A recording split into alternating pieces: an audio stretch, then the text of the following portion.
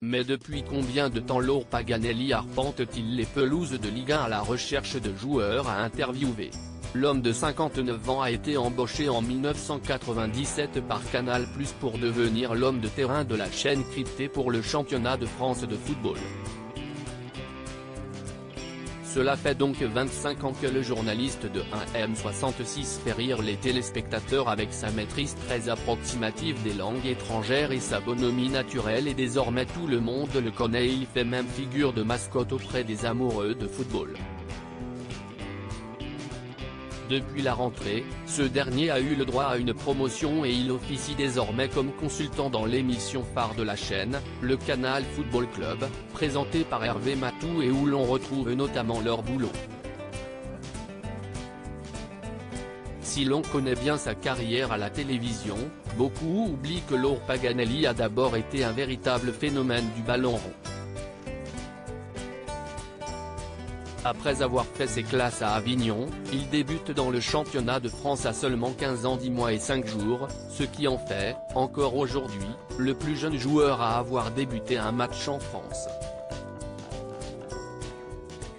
Malgré ses débuts tonitruants, le petit blond ne va pas confirmer tout le talent qu'il a dans les pieds et sa carrière ne décollera pas malgré quelques bonnes saisons du côté du SC Toulon. À côté de ça, celui qui partage la vie de Carole, sa femme depuis 42 ans, va connaître de vraies tragédies personnelles. Laurent a fait une longue dépression. C'était grave, grave. Deux ans. Alors qu'il est encore joueur de football, son frère se tue dans un accident de la route alors qu'il se rend à son domicile. Un drame qui va hanter Laurent Paganelli, comme le raconte sa femme. Laurent a fait une longue dépression. C'était grave, grave. Deux ans.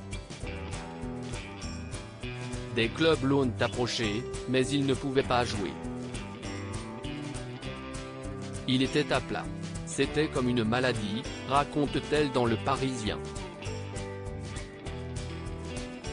Une période extrêmement difficile pour l'ancien footballeur, mais qui va souder encore plus sa relation avec Carole. On vit jour après jour. On profite. Si est notre credo, demain t'es malade, t'es mort, résume-t-elle. Si tout va pour le mieux aujourd'hui, Laurent Paganelli a connu des périodes très difficiles et la mort de son frère a failli le faire sombrer, mais heureusement pour lui, il a pu compter sur le soutien de sa femme, Carole. Retrouvez Laurent Paganelli dans le Canal Football Club ce dimanche 9 octobre à 19h30.